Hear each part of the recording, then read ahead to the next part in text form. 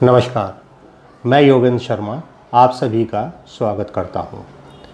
प्रिय दोस्तों, आप सभी ने पिछले अध्याय में मेष लगन की कुंडली के योग कारक, मारक व समग्रह के बारे में जानकारी प्राप्त की।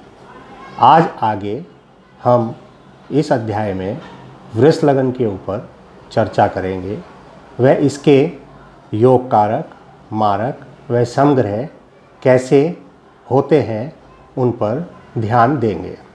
मित्रों, आगे चर्चा करने से पहले मैं आप सभी लोगों से एक निवेदन करना चाहता हूँ कि यह कुंडली आप अंत तक देखते रहिए।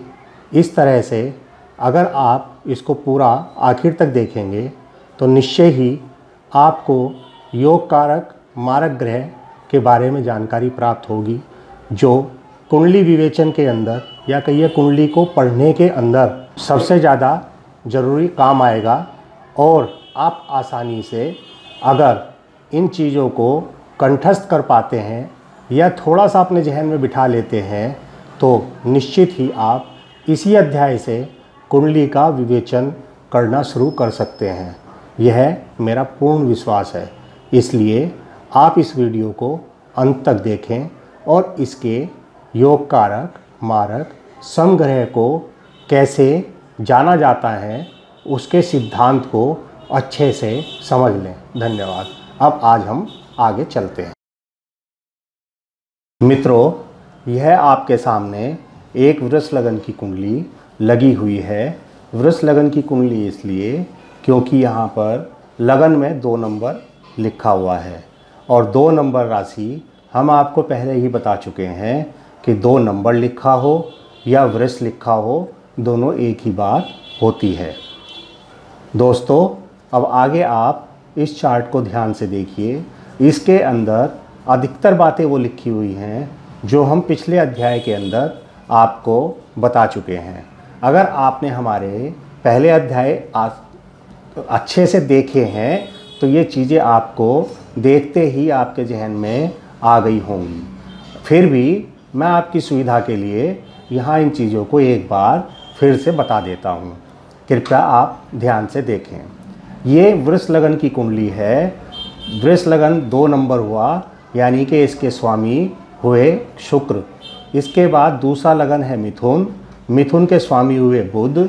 इसके बाद चौथा भाव है, तीसरा भाव है कर्क राशि। कर्क राशि के स्वामी है चंद्रमा। पाँच नंबर जहाँ लिखा है वह है सिंह राशि। सिंह राशि के स्वामी हैं सूर्य छः नंबर कन्या राशि कन्या राशि के स्वामी बुध, सात नंबर तुला राशि तुला राशि के स्वामी शुक्र, आठ नंबर वृश्चिक वृश्चिक के स्वामी हुए मंगल, नौ नंबर धनु धनु के स्वामी गुरु, इसके बाद मकर मकर स्वामी, राशि के स्वामी हुए शनि, फिर कुंभ कुंभ राशि के स्वामी भी शनि। इसके बाद बारह नंबर जहाँ लिखा हुआ है, वो एकादश भाव, वहाँ पर मीन राशि है, मीन राशि के स्वामी हुए गुरु।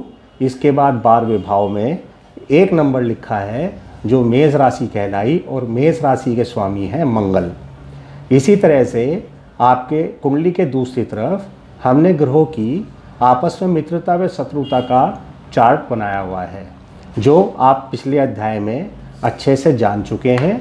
फिर भी आपकी रिमाइंड कराने के लिए मैं एक बार यह दोबारा बता देता हूँ। सूर्य, चंद्रमा, मंगल, गुरु, ये सब आपस में मित्र समूह हैं। इसके विपरीत शुक्र, शनि, राहु, केतु, ये चार ग्रहों का एक विपरीत समूह है, जो चारों आपस में मित्र हैं, लेकिन मित्र सामने वाली पार्टी से शत्रुता का व्यवहार करते हैं। इसी तरह से बुध यहाँ पर न्यूट्रल होता है, जो दोनों ग्रुप के साथ मित्र व्यवहार करता है, लेकिन चंद्रमा और मंगल उसके नैसर्गिक शत्रु हैं। चलिए अब आप इस लगन के अंदर योग कारक, मारक व समग्रह कैसे आएँगे, कैसे देखते हैं, उसके ऊपर चर्चा करते हैं। सर्वप्रथम यहाँ पर दो नंबर राशि लिखी गई है, यानी कि दो नंबर राशि वृष हुई और वृष के स्वामी हुए शुक्र। शुक्र भगवान ने इस कुंडली के अंदर खुद मकान मालिक बनते हुए अपने पास दो भावों का प्रतिनिधित्व लिया। सर्वप्रथम वो लग्नेश बने, साथ ही उन्होंने छठा भाव लिया सस्टेस एक स्थान उन्होंने केंद्र में लिया, एक स्थान उन्होंने त्रिक भाव में लिया। त्रिक भाव के ऊपर हमारा त्रिकोण ज़्यादा भारी रहता है, जिस कारण से लग्नेश होने के नाते शुक्र इस कुंडली के सबसे ज़्यादा योग कारक ग्रह बने। इसके बाद बुध महाराज तीसरी राशि, दूसरा भाव, जहाँ पर मिथुन राशि लिखी है। मिथुन राशि के स्वामी हुए बुध और बुध देव को शुक्र महाराज से दूसरा और छठा भाव प्राप्त दूसरा और पांचवा भाव प्राप्त हुआ। दूसरा भाव हमारा धन कुटुंब वाणी का है। पांचवा भाव हमारी संतान, विद्या और अनसर्टेन गेन का है। ये दोनों भाव, एक भाव तटस्थ है, जो सेकंड भाव है। पांचवा भाव त्रिकोण में स्थान दी तो बुद्ध देव को शुक्र देव से एक स्थान द्वितीय मिला, दूसरा त्रिकोण में स्थान मिला, जिस कारण से यह भी इस कुंडली में अति योग कारक ग्रह बन गए। क्योंकि बुद्ध देव अगर आप तालिका देखेंगे तो शुक्र के मित्र भी होते हैं। अब आगे देखिए, आगे तीसरे भाव में कर्क राशि को स्थान मिला। कर्क राशि के स्वामी हुए चंद्रमा। चंद्रदेव को शुक्र महाराज ने छोटे भाई बहन मेहनत, छोटी यात्रा व पराक्रम का भाव दिया। एक तो कुंडली में यह भाव सही नहीं होता क्योंकि त्रिसडाई के अंदर यह आता है। ऊपर से यह लगने शुक्र के शत्रु हैं, इसलिए चंद्रमा यहाँ पर मारक की भूमिका में आ गए और चंद्रमा को यहाँ पर मारक बनना पड़ा। अब आगे चौथा भाव, जहाँ पर पाँच नंबर लिखा है, पाँच नंबर सिंह राशि, इनके स्वामी हुए सूर्यदेव।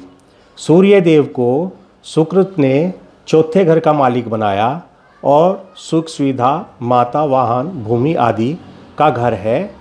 शुक्रदेव ने सूर्य को अच्छा घर केंद्र में प्रदान किया, लेकिन सूर्य और शुक्रदेव की आपस में शत्रुता है, इसलिए घर अच्छा भी है, लेकिन लगने से शत्रुता होने के कारण सूर्य देव इस कुंडली में समग्रह हो गए। ये आप अच्छे से जान लीजिए, अच्छे भाव का स्वामी होना और लगने से शत्रुता रखना आदमी न्यूट्रल हो जाए, ग्रह न्यूट्रल पोजीशन में आ जाएगा, इसलिए यहाँ पर सूर्यदेव सम हो गए। अब आगे, पांचवा भाव, जहाँ पर छः नंबर राशि लिखी है, इस पर हम चर्चा कर चुके हैं। इसके बाद आठवा सप्तम भाव की हम बात करेंगे। सप्तम भाव जहाँ पर आठ नंबर लिखा है, यह हुई वृश्चिक राशि और वृश्चिक राशि के स्वामी हुए मंगल। मंगल महाराज को शुक्र देव से एक तो सातवां घर प्राप्त हुआ, जो दाम्पत्य सुख का है। साथ में ही मंगल देव को बारवा भाव, जहाँ पर एक नंबर लिखा है, वह भाव, वहाँ स्थान प्राप्त हुआ। जो हमारे हॉस्पिटल, जेल यात्रा और वैव का है, वो स्थान शुक्रदेव ने लंगन महाराज मंगल महाराज को उपलब्ध कराया। अब यहाँ पर एक स्थान मंगल देव को केंद्र में मिला और एक स्थान त्रिसठ त्रिक में मिला। दोनों ही भाव इस कुंडली में जो एक मारक है और दूसरा बारहवा भाव जो त्रिक है, वो भी मारक की भूमिका में है। और ऊपर से ये शुक्र देव के शत्रु हैं, जिस कारण से मंगल इस कुंडली में बहुत ज़्यादा अति मारक मारक जो है बने और मार्ग की स्थिति में आ गए। अब आगे, अष्टम भाव, जहाँ पर नौ नंबर लिखा है, यह स्थान नौ नंबर का मतलब धनु राशि धनु राशि के स्वामी हुए गुरु, गुरुदेव को शुक्रदेव से अष्टम स्थान प्राप्त हुआ, जो अनसर्टेन लॉट लॉस और ऑब्स्टेकल का भाव है, आयु स्थान है, जिसे सबसे बुरा माना गया है, वह स्थान गुरुदेव को मिला। साथ ही गुरुदेव को त्रिसराय में एकादश भाव ग्यारहवा भाव का स्वामी भी प्राप्त हुआ, जहाँ पर ये बारह नंबर लिखा हुआ है। उस भाव के स्वामी भी, लाभ स्थान के स्वामी भी गुरुदेव बने। लेकिन गुरुदेव को दोनों ही बुरे भावों का स्वामित्व मिला। साथ ही लगन से उनकी शत्रुता होने के कारण गुरुदेव भी इस कुंडली में मारक की भूमिका में आ गए, जो अपनी दशा अंतरदशा में इस कुंडली में अच्छा फल नहीं दे पाएँगे। आगे आगे हमारा नौवा स्थान, नौवा भाव, जहाँ दस नंबर लिखा है। दस नंबर का मतलब मकर राशि। मकर राशि के स्वामी हुए शनि। शनि देव को भाग्य भाव भाग्य स्थान मिला, पिता का स्थान मिला। साथ ही शनि देव को दसम भाव, हमारी आजीविका का भाव भी मिला। दोनों ही स्थान इस कुंडली में एक त्रिकोण में जगह मिली, एक केंद्र में जगह मिली, जिस कारण से ये है इस कुंडली में और लग्नेश के साथ मित्रता, इस तरह से शनि इस कुंडली में सबसे ज़्यादा योग कारक ग्रह बने। अब आप देखिए इस कुंडली में योग कारक और मारक जो आपके सामने आए हैं, वो इस प्रकार हैं। योग कारक ग्रह शुक्रदेव, बुद्धदेव और शनि। इस कुंडली के सबसे ज़्यादा योग कारक हैं। चंद्रमा, मंगल, गुरु इस कुंडली में सबसे ज़्यादा मारक हैं और सूर्य देव इस कुंडली में सूर्य हैं, जो न्यूट्रल रहेंगे। साथ में आप ये देखिएगा जब भी इन ग्रहों की योग कारक ग्रह, मारक ग्रह या समग्रह की दशा चलेगी, ये सभी अपनी अपनी दशा व अंतरदशा में अपनी योग कारकता, मारकता के हिसाब से जातक को अच्छा या बुरा फल प्रदान करेंगे। लेकिन इस कुंडली में अब एक चीज़ और देखने की है। योग कारक, मारक और समग्रह के अनुसार हम कुंडली का विवेचन कर सकते हैं, विवेचन करते हैं, लेकिन मारक तो हमेशा मारक ही होता है, जो हमें हमेशा अशुभ फल देगा जब उसकी दशा अंतरदशा आएगी। लेकिन योग कारक ग्रह जिसे हम अच्छा फल देने वाला मानते हैं। अगर उसकी भी स्थिति अनुसार जो भाव के अंदर स्थिति है, वो गलत हो जाए तो योग कारक ग्रह भी आपको अशुभ फल दे सकता है। जैसे योग कारक ग्रह शुक्र, बुध व शनि इनका संबंध अपनी नीच राशि से हो जाए या त्रिक भाव छः आठ, बारह बारह से इनका संबंध हो जाए तो योग कारक ग्रह भी इस कुंडली में मारक की स्थिति में आ जाएँगे, जो हमें अपनी दशा, अंतरदशा में अच्छा फल प्रदान नहीं कर पाएँगे। इसी तरह से आपने आज योग कारक, मारक और समग्रह के ऊपर चर्चा की है, इसे आप अच्छे से देखें और समझें जो आपको आगे काफ़ी काम आएगी। मित्रों, आज आपने वृक्ष लगन की कुंडली पर जानकारी प्राप्त की। इसके अंदर बनने वाले योग कारक ग्रह, मारक ग्रह व समग्रह के ऊपर चर्चा की। अगर इन चीज़ों को आप अंत तक वीडियो को देखकर अच्छे से कंठस्थ करेंगे तो आप निश्चित ही आज से कुंडली का विवेचन शुरू कर पाएँगे। धन्यवाद। जाते जाते मैं आपसे यह निवेदन करना चाहता हूँ कि अगर यह वीडियो आपको अच्छा लग रहा है तो कृपया इस वीडियो को लाइक कीजिए व साथ ही मेरे चैनल को सब्सक्राइब कीजिए और साथ में लगा घंटी का बटन दबा दीजिए, ताकि समय समय पर जितने भी अध्याय हैं, वो आपको उपलब्ध होते रहें और आप ज्ञान प्राप्त करते रहें। धन्यवाद।